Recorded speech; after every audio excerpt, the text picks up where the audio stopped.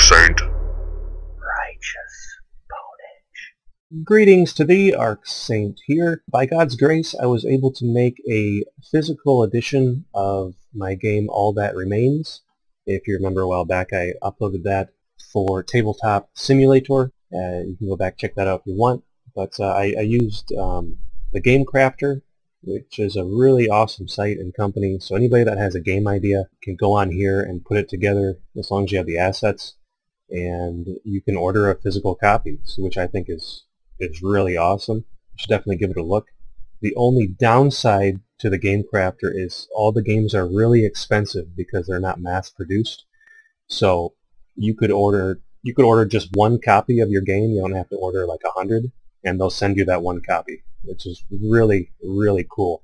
So anyhow, I put all that remains into their system and got it all worked out, and I was able to get the physical copy to where you can you can actually buy it. So if you actually want to own a physical copy of all that remains, you can follow the link in the description and come to this website. Again, it's expensive uh, right now. Uh, as far as this video goes, at the time of this video, it's it's 87.99, which is quite a lot. But uh, it is available if you if you want to get it. I, I have my own copy. Um, this is a store page, uh, obviously, and this video here, because you can try it before you buy it, is just my video of earn, um, of the, the tabletop simulator edition. So, um, and it, it does look, the final version does look a little bit different uh, with the cards and everything. I'll, I'll show you down here if I can get to, there we go. This is actually on my kitchen table, but um, I can get this static. There we go.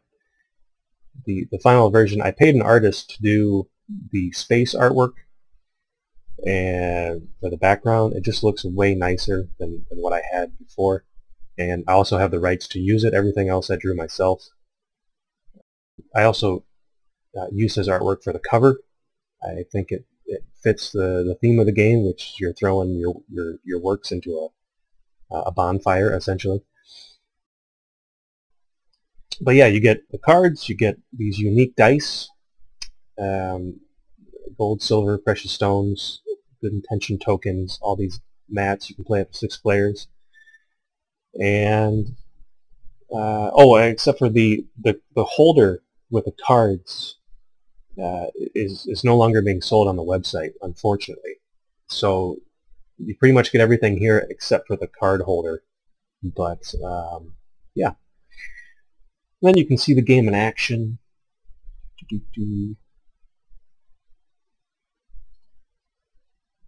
Pretty nice. I thought the quality was pretty decent, uh, especially the cards.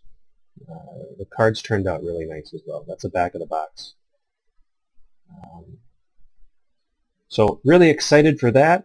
Uh, this was actually released in November 2022, so pretty late on making a video about this. but uh, yeah, if anybody would like to play a game based on the Judgment Seat of Christ, I don't think there's another game like this.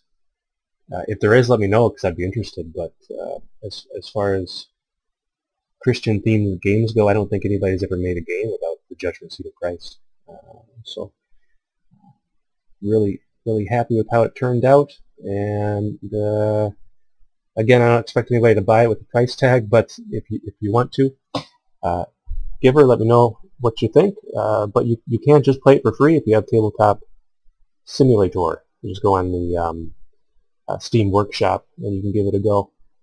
But yeah, uh, glory to God. I'm really, really happy how this uh, turned out, how it looked. So yeah, alright, thanks so much for watching. until next time, may the Lord be with thee.